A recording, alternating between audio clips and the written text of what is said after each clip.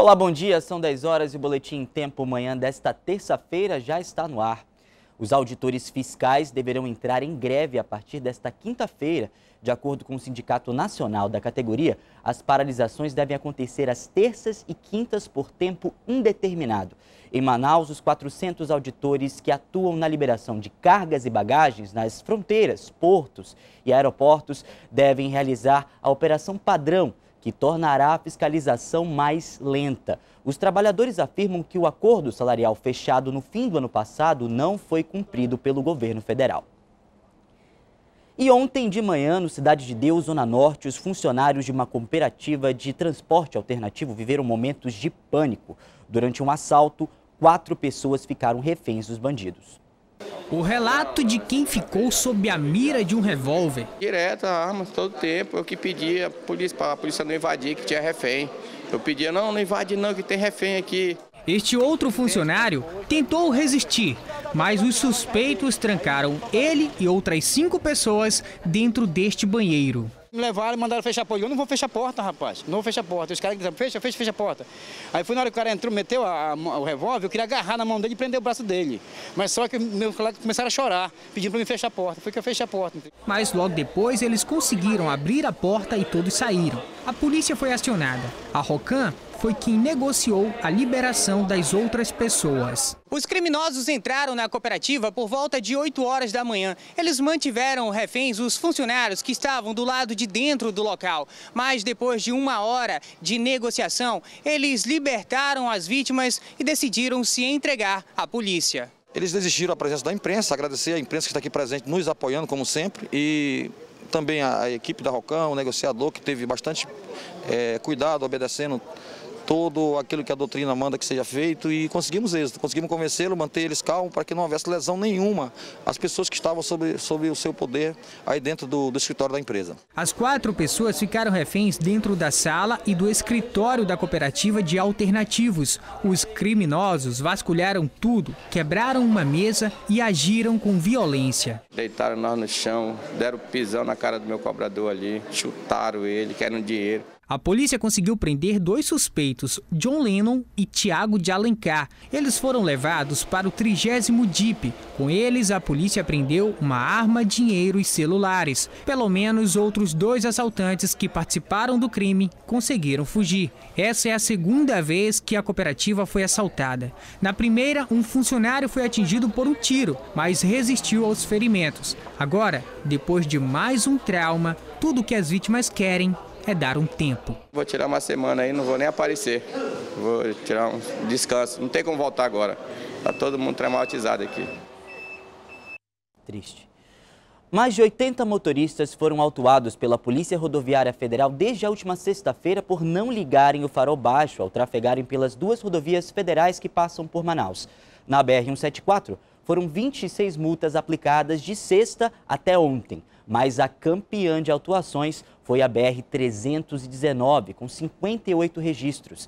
A lei do farol baixo tem o objetivo de dar mais segurança ao motorista que dirige nas estradas e evitar acidentes. Segundo a PRF, as fiscalizações foram intensificadas. O Detran deve divulgar um balanço das atuações nas rodovias estaduais ainda hoje. E a matéria completa você acompanha no Jornal em Tempo às 6h20 da noite.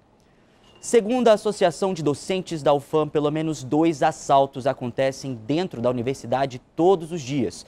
O medo acompanha o estudante e a situação fica pior à noite.